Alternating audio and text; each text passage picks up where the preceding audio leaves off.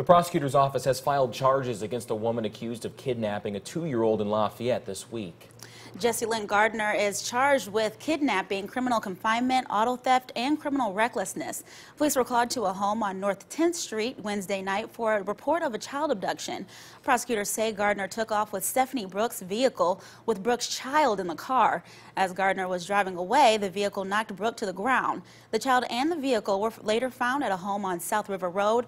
Gardner was arrested nearby. And News 18 reached out to Brooke to get her side of what happened. She told us she was staying in Gardner's home home for a couple of days while she was looking for a new place.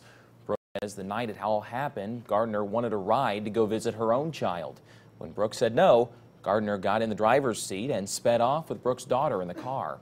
She says she could hear her child screaming as Gardner drove away.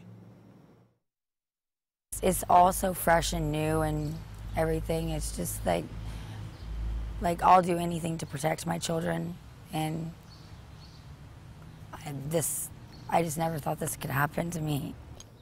Brooke was hit by the car and got some bruises on her legs and her face. She says she's planning to move out of the home by the end of the week. She tells us her daughter is in the care of her ex-boyfriend and is safe.